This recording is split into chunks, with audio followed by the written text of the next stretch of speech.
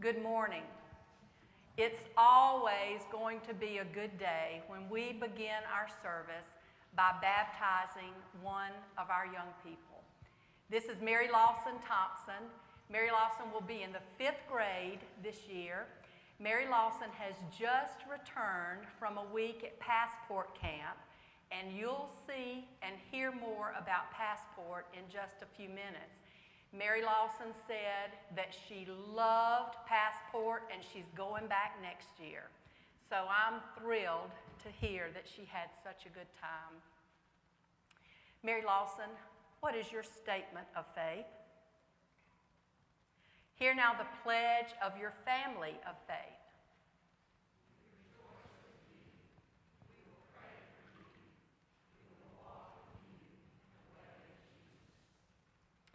Mary Lawson, in obedience to the divine command of our Lord and Savior Jesus Christ, and upon your profession of faith in Him, I baptize you, my friend, and now my sister, Mary Lawson Thompson, in the name of the Father, and the Son, and the Holy Spirit.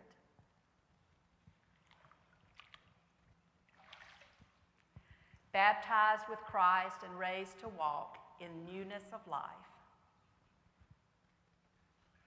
May we pray together.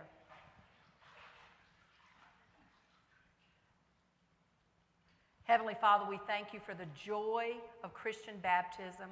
We thank you for what it symbolizes. Father, may each of us remember our own baptisms and the time that we came to faith in you. Father, I pray that we as a congregation would continue to find ways to nurture and disciple our children that they may grow to know who you are and want to become more like you. In the strong name of Jesus, we pray. Amen. It is indeed a joy to begin worship in celebration of one who has taken the step of faith to make public proclamation of faith in Christ and to come publicly and be baptized and join in this community. We will hear over the course of our service about another who made a public move towards Christ as Zacchaeus climbed into the tree to be closer to Jesus. You will hear echoes of that story in our call to worship this morning. I'd ask if you would stand and read responsively with me our call to worship and then remain standing for our first hymn. We have to admire Zacchaeus.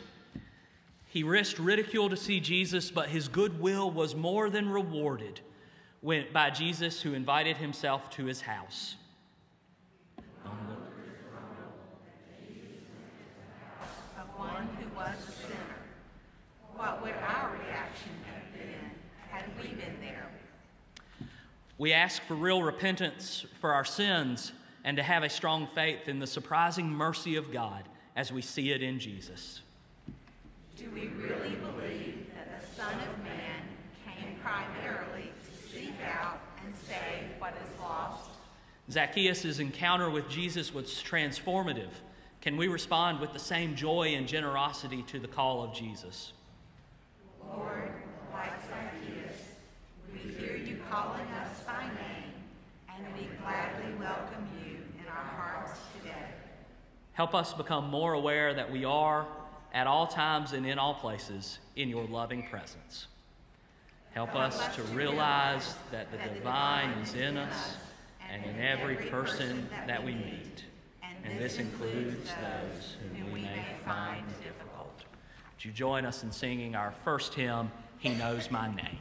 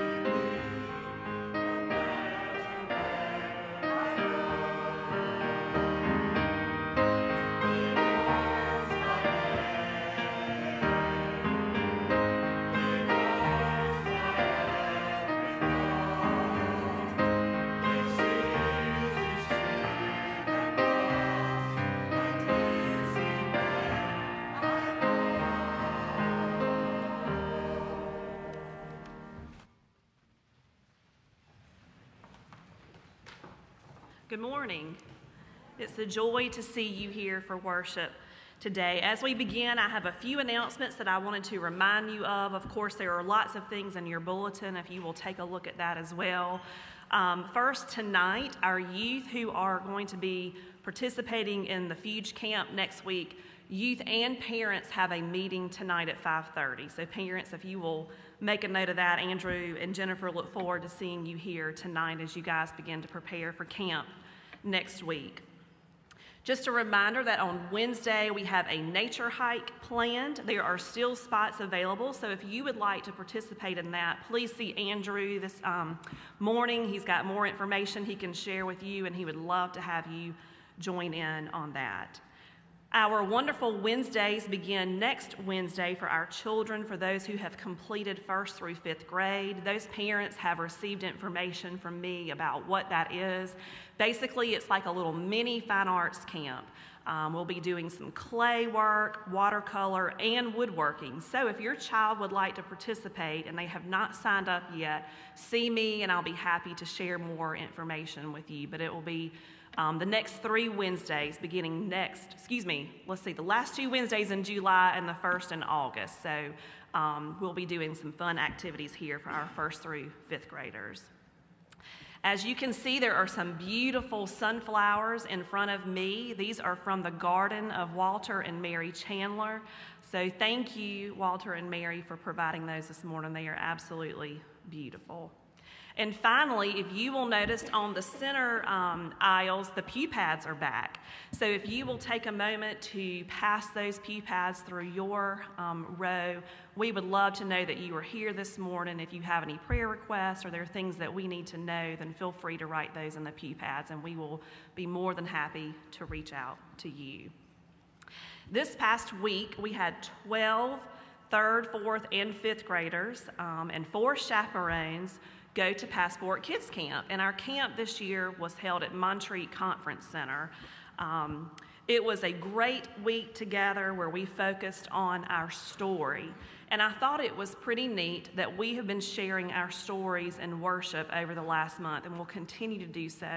And our children learned a lot about what our story is and how we can be a part of God's story. When we hear, join, act, and write, we all become a part of God's story. In just a few moments, Kirby and Kason will share more with you on our time together. In addition to focusing on how we all are a part of God's story, our mission focus was on field personnel, Jeff and Alicia Lee, who are missionaries in North Macedonia. Our mission offering, offering was given for their ministry. They partner with several local churches, including the Food Bank of Macedonia, the Cow Bank for bivocational pastors, a Christian orphanage, and a home for adults with disabilities. The offering that we gave will help build a bigger warehouse for their food bank and a ministry center for CBF Macedonia. We had an incredible four days together and are a little bit tired, but it was a lot of fun. At this time, I would like to ask our campers and chaperones who went to camp to stand so that everybody can see your sweet faces. I know some of us are away today, um, but it was a wonderful group that I enjoyed having join us this past week. Will you join me in prayer? God, thank you so much for this opportunity to gather in your house today. Help us to set aside all distractions so that we can focus and hear the message prepared. God, thank you for allowing us the chance to connect, fellowship, and focus on you here and during our time together at Passport Kids. How blessed we are to have the opportunities to grow in our faith together as your children. May we take what you would have us hear today, join, act, and write our name in your story. In your name we pray. Amen.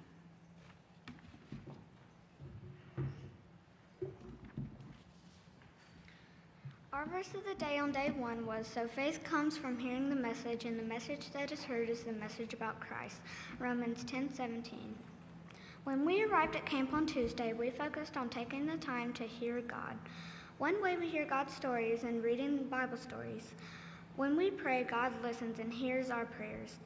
God wants us to hear God's story and follow God what God wants us to do in the world, like Moses and the disciples in our Bible story on day one. God wants us to be obedient and do what God calls us to do. Our verse, on, our verse of the day on day two was How good and pleasant it is when God's people live together in unity. Psalm 133 1. Knowing that you are loved by God and by others is such a good feeling. On Wednesday, we learned that when we experience God's love, we must join with others in spreading the same love everywhere we go. It is hard to join together if we do not love one another. The scripture reminds us that it is good and pleasant to live together in unity. Our prayer experience involved pipe cleaners. We made a circle out of our pipe cleaner and looped it together with our neighbor to remind us that we are stronger when we are together. This kind unity only happens when we join together by loving one another just as God loves us. My favorite memory from Passport was when me and my friends performed a skit.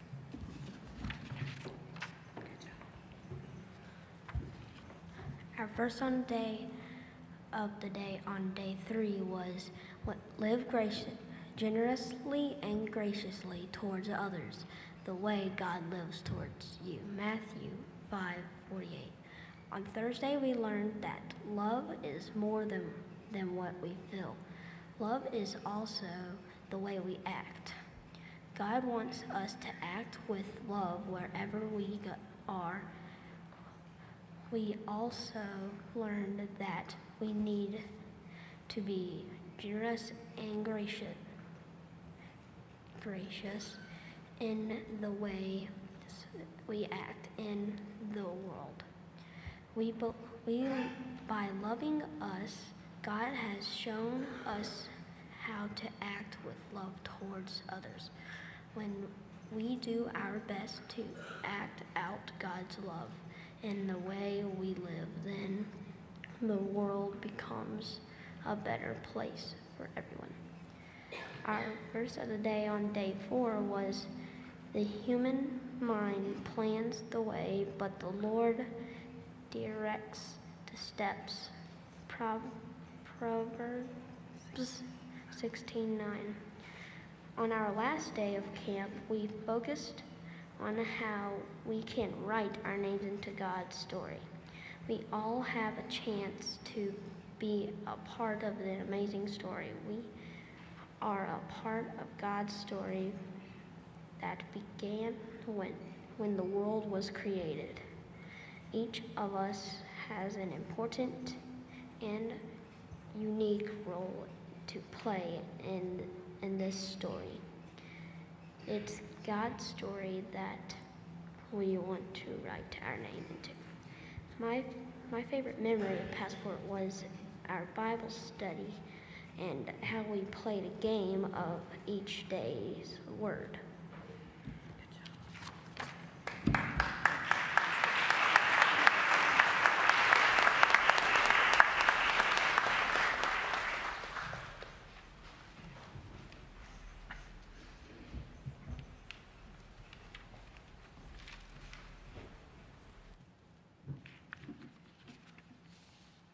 Good morning. My story of faith here at First Baptist began when I was in college. My mom, dad, sister, and I moved from a small Presbyterian church in our community to the big Baptist church in town.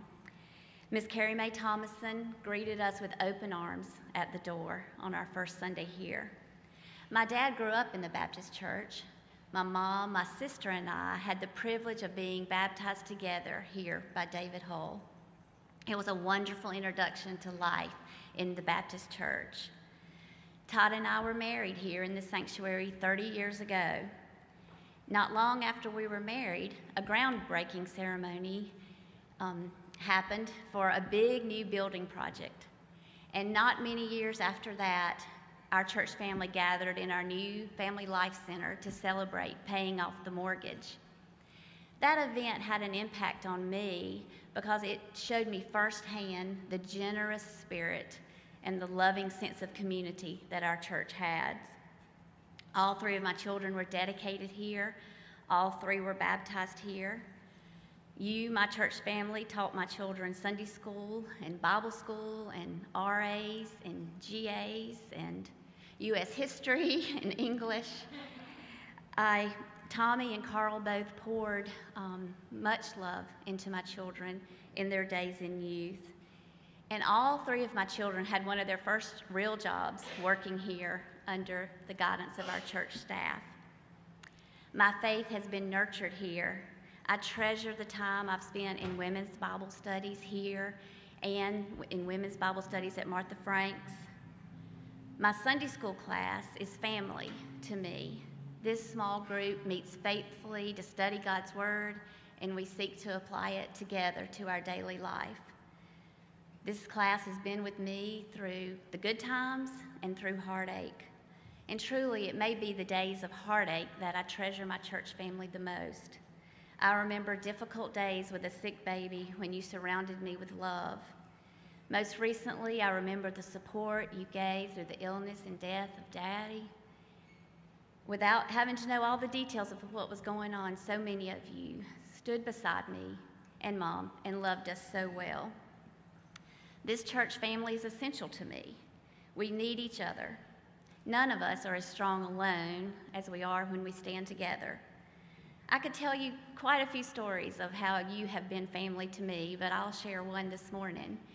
When Sarah Kalin, my oldest daughter, went to Festival by the Sea one year, um, she returned home, and later in the week, she received a text from a boy. And it said, It was so nice to meet you this um, past weekend, and I really enjoyed meeting your mom. She was great and y'all just seem to have the best relationship. So we laughed when she read the text because I wasn't on the trip with her. Um, so she texted back and she said, That was not my mom, that was my Miss Adair. My Miss Adair. That's what church family looks like here at First Baptist Church. So now we find ourselves in a season of transition looking for a new pastor. And as part of your pastor search committee, I just want you to know that we have begun meeting and the process is well underway. We are so thankful for all the cards and letters and words of encouragement we've received from you. Please continue to pray for us as we seek God's perfect will pray for spiritual discernment for us through this journey. And I'm excited to see what future stories um, we tell together here at First Baptist. To God be the glory.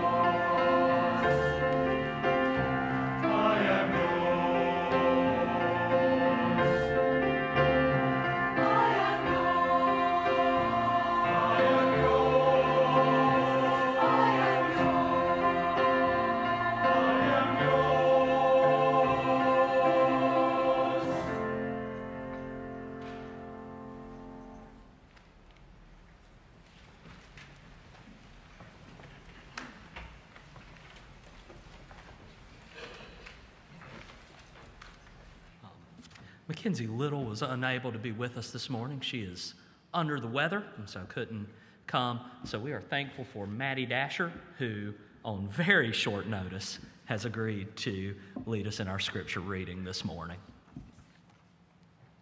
Today I'll be reading Luke 19 1 through 10. He entered Jericho and was passing through. There was a man named Zacchaeus who was a chief tax collector, and he was rich. He was trying to see who Jesus was, but he was not able because of the crowd, since he was a short man. So, running ahead, he climbed a sycamore tree to see Jesus, since he was about to pass that way. When Jesus came down to the place, he looked up and said to him, Zacchaeus, hurry up and come down, because today it is necessary for me to stay at your house. So he quickly came down and welcomed him joyfully. All who saw it began to complain, He has gone to stay with a sinful man. But Zacchaeus stood there and said to the Lord, Look, I'll give half of my possessions to the poor, Lord, and if I have extorted anything from anyone, I'll pay back four times as much. Today, salvation has come to this house, Jesus told him, because he is too a son of Abraham. For the Son of Man has come to seek and save the lost. This is the word of God for the people of God.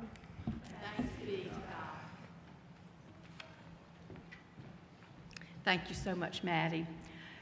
We think it's so important that our children understand that they are important and that what they do in worship is important too. So, our next hymn is for our children. So, would you stand as we sing together that hymn that you all learned as a child? Let's stand. We'll sing it twice because it might take two times for you to get the motions. Here we go. Zacchaeus was a wee little man, and a wee little man was he. He climbed up in a sycamore tree, for the Lord he wanted to see. And as the Savior passed that way, he looked up in the tree, and he said, Zacchaeus, you come down, for I'm going to your house today. I'm going to your house today. Now we got it. Zacchaeus was a wee little man, and a wee little man was he. He climbed up in a sycamore tree, for the Lord he wanted to see. And as the Savior passed that way, he looked up in the tree, and he said, Zacchaeus, you come down, for I'm going to your house today. I'm going to your house today. Will you pray with me? Dear God, thank you for all the many ways you bless us. Thank you for an amazing four days at camp.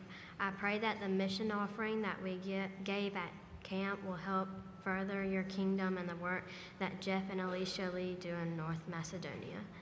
I pray that this money will bless the food bank and cow bank that reaches so many who are in need in North Macedonia.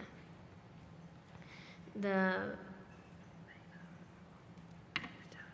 the tithes and offerings that we give today bless those who are in our area and around the wor- world. Thank you for the ways you bless, you provide and bless us. May we always give with a grateful heart so that our gifts can bless others and continue to spread the same love as you have given us throughout our world. In your name we pray. Amen.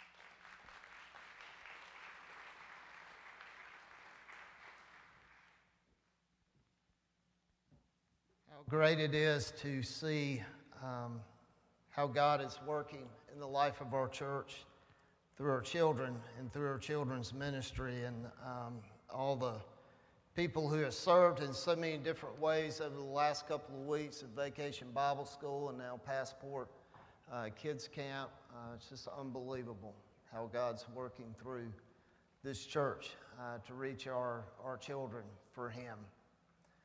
I come to you today with, I guess you've already kind of picked up on it. I come to you today with a story from, from my childhood. A few weeks ago, uh, I gave my one faith, one family story. And as I was putting that story together, uh, I thought about and I actually mentioned how I'd been baptized in this church and had um, grown up and, and received the foundation of my spiritual walk in this church as a child. And one thing that came to my mind and kept coming to my mind, and would not leave my mind, was the, the song that Adair just sung and this, and the, or that we just sang, and also the passage about Zacchaeus, the story of Zacchaeus. Because as a child growing up in this church, that was a story that I absolutely loved. And God quit, or He kept putting that story in front of me. This was not what I had planned to preach on this day. But God had decided at some point that He wanted me to say something about Zacchaeus' story today.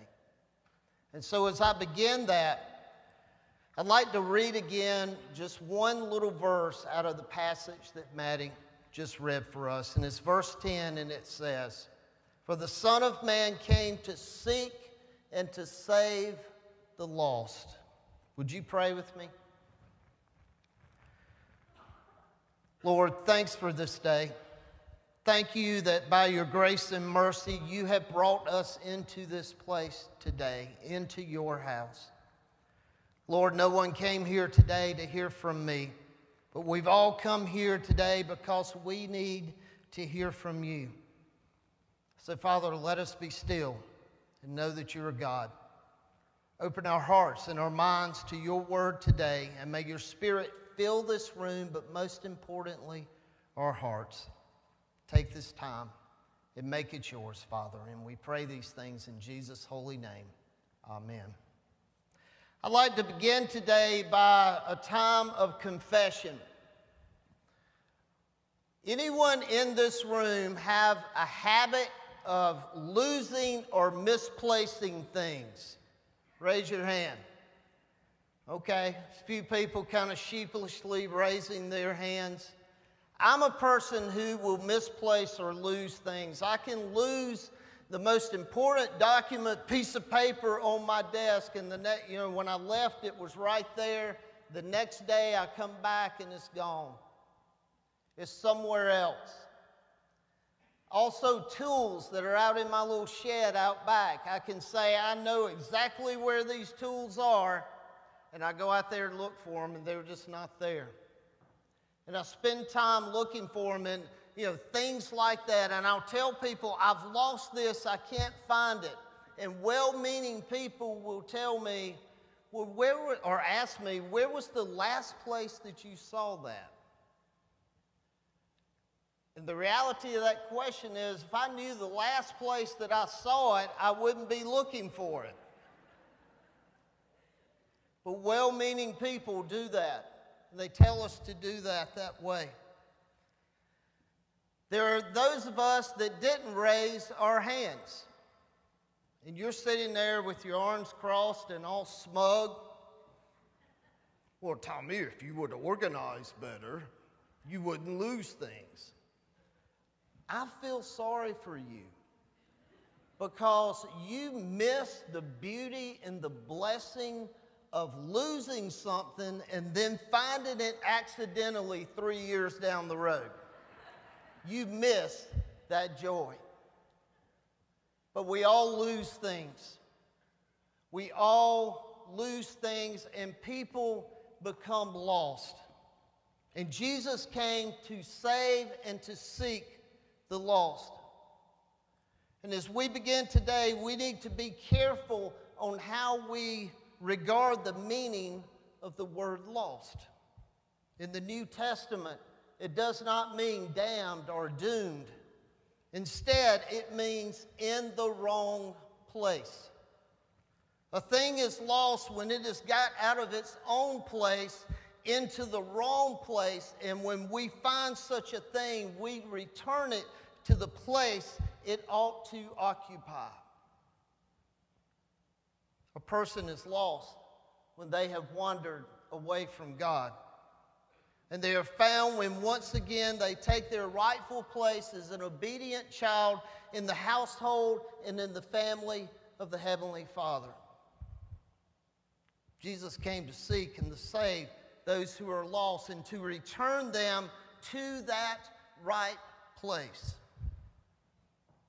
This is the story of Zacchaeus but it's really God's story. The story of Zacchaeus occurs in the city of Jericho. Jericho was a prosperous city. It had a great palm forest and world famous balsam groves which perfumed the air for miles around Jericho. Its gardens of roses were known far and wide and it was often referred to, the town city of Jericho was often referred to as the divine region. And even the Romans carried its dates and balsam to worldwide trade and fame. And Jesus was passing through Jericho on his way to Jerusalem when he came upon Zacchaeus. And at first glance, it would appear that this was just sheer coincidence, but it wasn't. Instead, Jesus had a divine appointment with Zacchaeus. And here's a truth about God God does not do random things. Nothing surprises a sovereign God.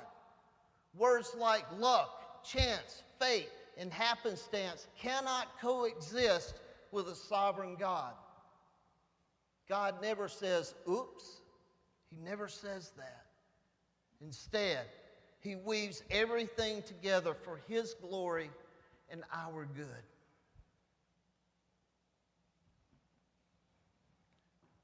This kind of occurred with me this past week. This past Thursday afternoon, I can't think of a better term, uh, it was chaotic here at the church. I had done some pastoral uh, care visits around lunchtime. I came back and I was had begun working on my sermon for today, you know, a little bit earlier that morning, got distracted on some other things, came in about 2:30, began to type out my sermon. And about halfway through what I was typing out, the fire alarm goes off in this building. And if you've ever been in this building when the fire alarm goes off, it is not a pleasant experience. It's loud, it's a screeching noise. And so I'm like, you know, so I get up, fire trucks come, ooh, ooh, ooh, you know, all this stuff is going on. We get the situation settled, and for some reason, that fire alarm just went off. Dust might have flown through one of the smoke detectors, we don't know. But we got everything settled down. And I went back into my office and I typed about three paragraphs. And guess what happened? It went off again. Same thing, fire trucks, everything. It's like this chaos here. And so, four o'clock, four thirty, everything finally settles down. And I said, you know, I'm going to work on this at home and I shut my computer, went out to my truck, and went home. Friday, I flipped my computer up and began to work on my sermon, and I realized that my sermon is gone. Thanks for sharing in my pain. I appreciate that. But my sermon was gone. It somehow, in the chaoticness of that day got deleted. And I won't share what went through my mind. But what ended up in my mind was this that sermon being deleted was not an accident, it was not bad luck, it was not happenstance. It was the fact that God had a time that He wanted to have with me. Because you see, I started typing that sermon out so I could get it done, so I could move on to something else that had become a checklist. And God was telling me, You do not need to put this on a checklist, you need to abide in me. It was a divine appointment. And I realized at that moment what I had done and why it was important that that sermon was deleted. Oddly enough, I could recall nothing mentally of what I had begun typing on Thursday. God sent me in a totally different direction. Jesus had a divine appointment with me. He also had a divine appointment with Zacchaeus. Zacchaeus was not only a tax collector, but the passage says that he was the chief tax collector. Tax collectors were hated by Jew, Jewish people in Jesus' day, and it wasn't because of their dislike of paying taxes, but more so because of the practice of what was known as tax farming. The collector made his profit on whatever extra he could get away with by charging his victims. A tax collector was highly motivated to make those taxes as high as possible. Zacchaeus became wealthy, but he was not happy. Inevitably, he was lonely, for he had chosen a way that made him an outcast. He had heard of this Jesus who welcomed tax collectors and other sinners. And he wondered if this Jesus would have any word for him. Despised and hated by men, Zacchaeus was reaching out after the love of God. But he had another problem. Zacchaeus was short. And because he was so short, he could not see over the crowd that had gathered around Jesus. So he climbed a sycamore tree. Now, here's why that is significant. In Jesus' day, men climbing trees was considered a childish act. Men didn't climb trees, only children did. And it would certainly be beneath the dignity of a grown and wealthy man like Zacchaeus to climb a tree. But Zacchaeus climbed the tree like a little boy and without knowing fulfilled Jesus' word that unless we become like children, we will not see the kingdom of God. Zacchaeus had to humble himself before he could see Jesus. And I wonder what would happen if there were more of us who were not concerned about what others thought of us. If what we did meant being able to see Jesus or that other people could see Jesus in us. I wonder what would happen if we climbed trees like Zacchaeus. The sycamore tree was considered a poor man's tree. Its wood was not good for much. And in the Middle East, the sycamore trees there produced a fig like fruit that was considered food for the poor. It's interesting also to note with that that the unripe figs of this tree were inedible due to their bitter taste, and if they were left on their own to ripen, they would still become inedible because of wasps and other insects who would get and grow inside of that fig like fruit. The solution was to pierce or wound the fruit. This helped ripen the fruit as quickly as possible and it to stop and it helped stop the growth of insects in the fruit and sitting there on a limb, out on a limb among the fruit that needed to be pierced was Zacchaeus, whose own heart would be pierced by the grace of Jesus. In verse 5 says, And when Jesus reached that spot, he looked up and said, Zacchaeus, come down quickly, for I must abide at your house today.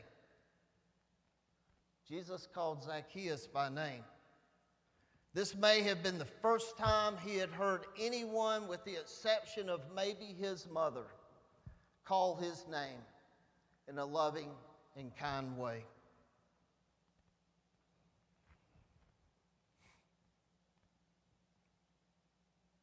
Jesus knew Zacchaeus by name, and he knows your name.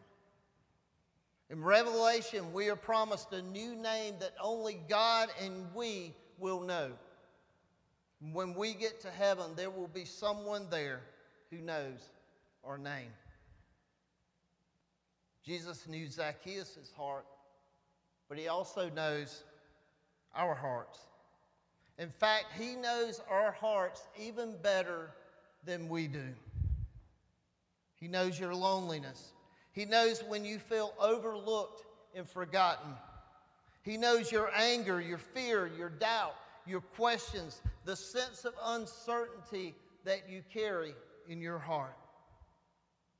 And He invites Himself into those places to lighten those things that weigh heavily on our hearts so that we might truly live. We just have to accept that invitation into our hearts, and He takes it from there. Jesus invited Himself into Zacchaeus' home, but also into his life. And Zacchaeus accepted that invitation, and his life was never the same. He was a tax collector before he met Jesus, and he continued to collect taxes afterwards. His job was the same, but his destiny was now different. He now used his job as an opportunity to give glory to God.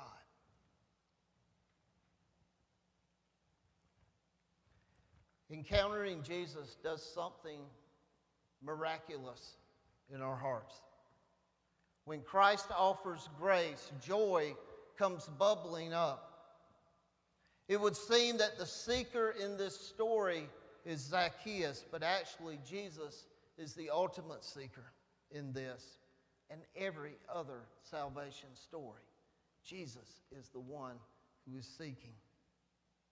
God still seeks us, even as we seek Him. And if we hold 1 John 4:19, if we hold that verse to be true, if we only love because he first loved us, it's also true that we only seek because we are first sought. That's God's story. Today, tomorrow, forever. Amen. Would you pray with me?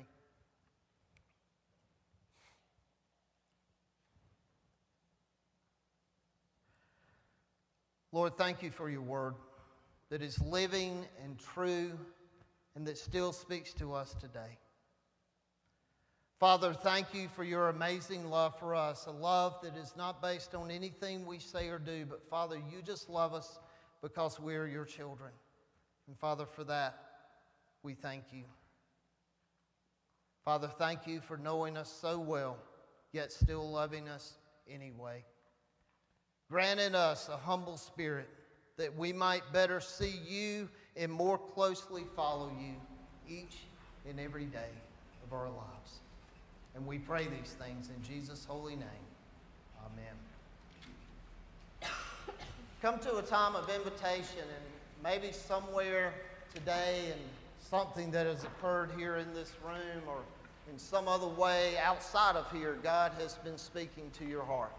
And you feel the need to somehow respond to that today. There are many ways that you can do that. You can simply uh, pray where you are, right where you're standing. You can come down and you can pray here at the altar, pray with one of our staff members. But I encourage you to respond to that today. Whatever it is that God's talking, speaking to your heart about today, respond to that in some way to Him.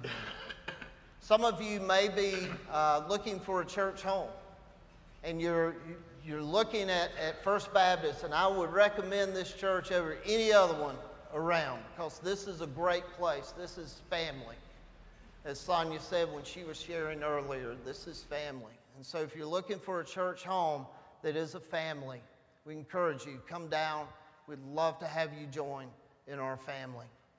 Or maybe today you have never taken that first step of placing your faith and trust and hope in salvation uh, of Jesus. And so if, if that is where you are today and that you want to respond to that in some way, I'll be standing down front and would love to talk with you and pray with you about that decision today. But whatever that decision is, we ask that you come as Adair comes to lead us in our hymn of invitation.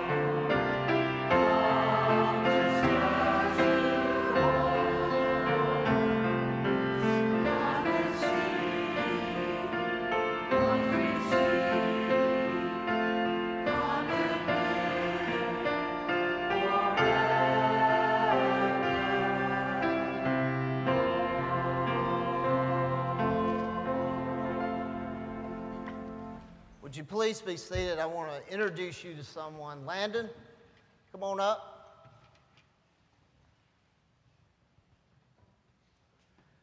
This is Landon Dasher. Landon comes today on profession of faith, wanting to be baptized into the fellowship of this church.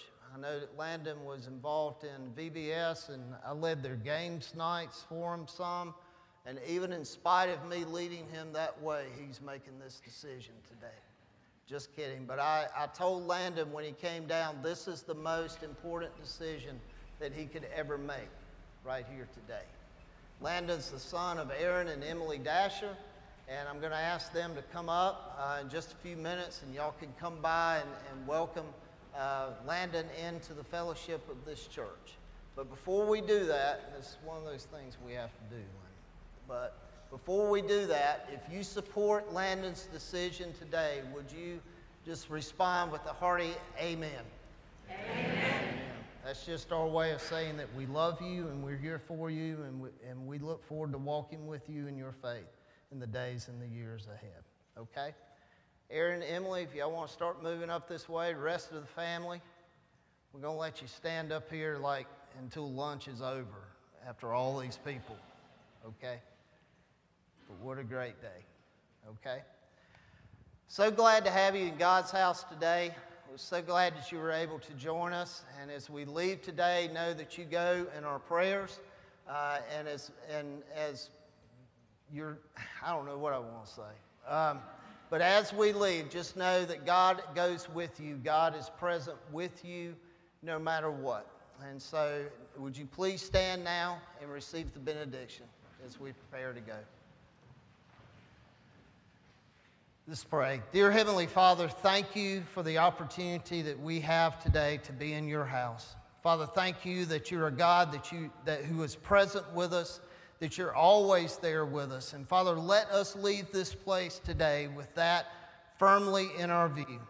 Father, help us to go and to live and to love and to lead in such a way that will always point others to you. And we pray these things in Jesus' holy name.